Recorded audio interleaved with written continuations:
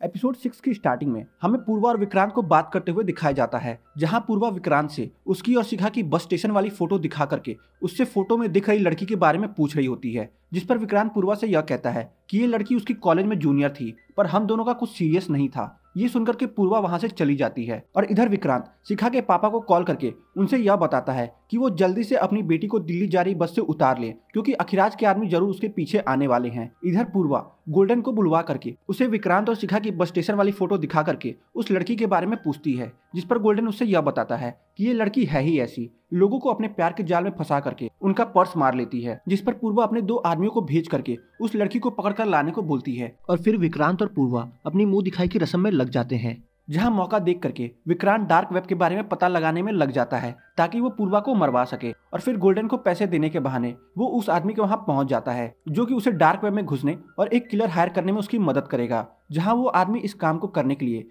25 लाख रुपए माँगता है, जिस पर विक्रांत अपनी इंगेजमेंट वाली अंगूठी उसे निकाल करके दे देता है। और इधर शिखा को पूर्वा के गुंडों से बचाने के लिए, उसके पापा अपने ही ऑफ़िस के एक एम्प्लॉय रविंदर के वहाँ रहने आते हैं। पर पूर्वा के गुंडे उन्हें ढूंढते ढूंढते वहाँ तक भी पहुँच जाते हैं। अपनी मम्मी पापा की जान को खतरा देख करके, शिखा विक्रांत को कॉल लगाती है और उसे सारा मैटर बताती है, जिस पर विक्रांत पूर्वा को शिखा से बात करवाता है, जहाँ शिखा पूर्वा से अपनी गलतियों की माफ़ी मांगती है और दोबारा कभी ऐसा न करने की कसम खाती है, क्योंकि उसकी अगले हफ़्ते शादी है। और वो तो बस शादी की शॉपिंग करने के वास्ते दिल्ली आई थी, जहाँ उसे विक्रांत मिल गया। पर वो अब कभी विक्रांत से नहीं मिलेगी। सो क्या वो उसकी मम्मी पापा की जान को बख सकती है, जिस पर पूर्वा उसकी और उसके घर वालों की कंडीशन देख करके पिघल जाती है और अपने आदमियों को फ़ोन करके वापस आने को बोलती है। घर पहुँच जाने के बाद विक्रांत के फ़ोन पे एक मैसेज आता है, जहाँ वो डार्क वेब वाला आदमी उससे यह बोल रहा होता है कि उसे एक आदमी मिल गया है, पर डेट जल्दी फिक्स करनी पड़ेगी, क्योंकि इलेक्शन का समय है, वो कहीं और बुक हो गया तो दिक्कत हो जाएगी। जिस पर विक्रांत पूर्वा से भोपाल में हो रही उसकी जुम्बा डांस शो के बारे में पूछता है,